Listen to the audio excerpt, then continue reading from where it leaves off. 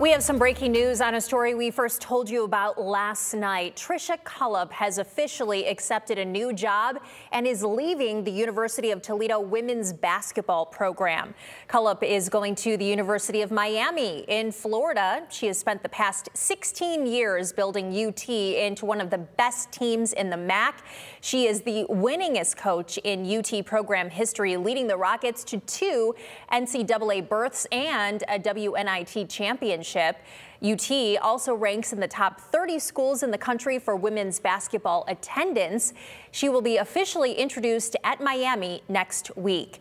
U athletic director released a statement within the past hours saying in part, quote, Tricia Cullop has been a remarkable community leader, mentor, and role model and a proven championship in all aspects.